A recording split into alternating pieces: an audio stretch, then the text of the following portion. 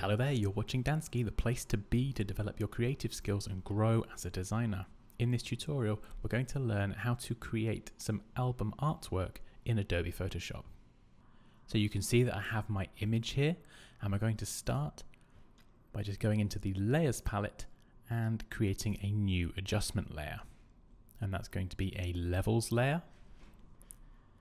And we're just going to select the shadows on the left and just drag this to the right just to darken our image slightly and enhance some of the shadows that are already present. You can then also select the midtones and you can bring this down a little bit if you like as well.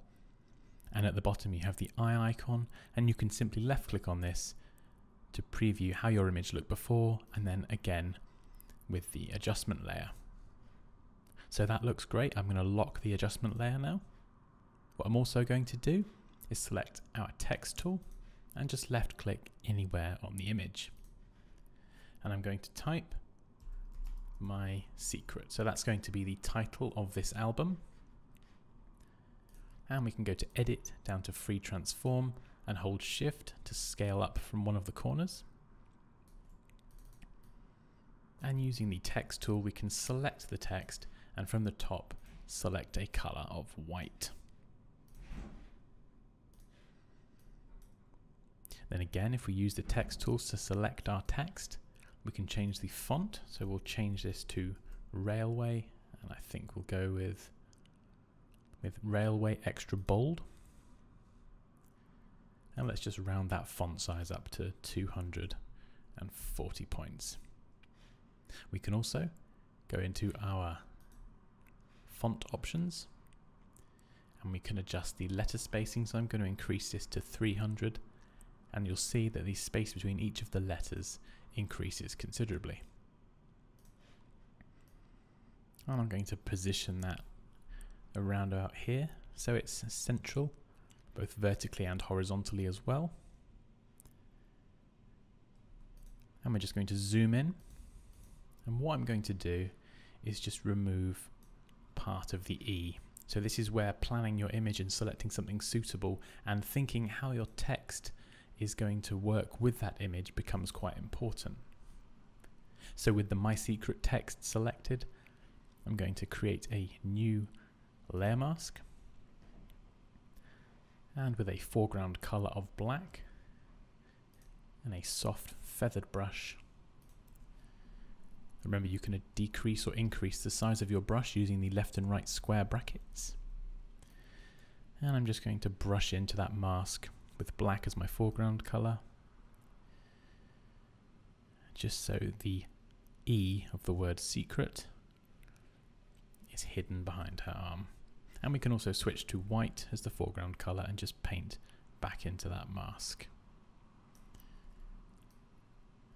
Let's zoom in a bit further. And if we make our brush nice and small, we don't want too much feathering on the edge.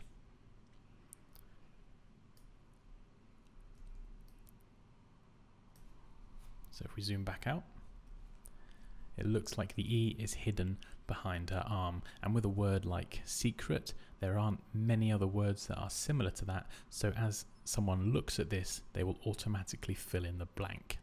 So if we then right click on my secret layer and select duplicate layer and select OK, we can just drag this down. We can right click on the layer mask and click delete layer mask and then with our text tool, I'm going to type in a name. So let's just say Talia Smith. There we go. That's a name I've just made up. And in our character palette, we can adjust the font size by just left clicking and dragging on the two letter T's. So let's reduce this down. And I'm going to keep the same letter spacing as well and just move this up a little bit with the text tool selected, just select the My Secret text and at the top select the color picker and just pick somewhere between pink and red, something nice and vibrant. And the last thing I'm going to do is just create a new layer that's above the levels layer. select black as your foreground color, select the fill tool and just fill this with black. And then change the opacity to, let's say 20. And we can double click on the layer text and just type overlay to give that a name. And if I turn it off, you can see it just helps bring out that Talia Smith text that is a little bit harder to read. And we can increase the darkness of that, the opacity, possibly to 30 or 60. You can adjust this as you like to get the desired effect and it just helps the text stand out a little bit more whilst still keeping the image visible at the same time. And there we go, that's how we can create album artwork in Adobe Photoshop.